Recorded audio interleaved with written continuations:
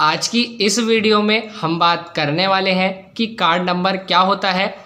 अगर आप कहीं भी ट्रांजैक्शन करते हैं तो आपसे कार्ड नंबर मांगा जाता है तो उसमें आपको अपना कार्ड नंबर डालना होता है और आपके कार्ड पर ये जो सिक्सटीन डिजिट का नंबर होता है, ये आपका कार्ड नंबर होता है। जैसा कि आप देख सकते हैं, हमारा बैंक ऑफ़ बड़ौदा का ये डेबिट कार्ड है और इसका कार्ड नंबर है six zero six nine nine four one zero five seven double four three four seven five.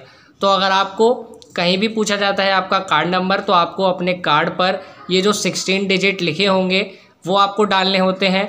आपको अपने कार्ड पर देखना है, आपके ये सिक्सटीन डिजिट यहाँ पर अलग होंगे।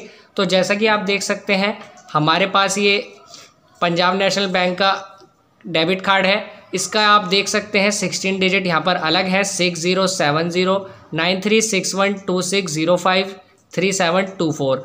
तो आपके कार्ड पर भी यहाँ पर अलग ये डिजिट होंगे तो आपको अपने कार्ड नंबर में वो डिजिट डालने हैं।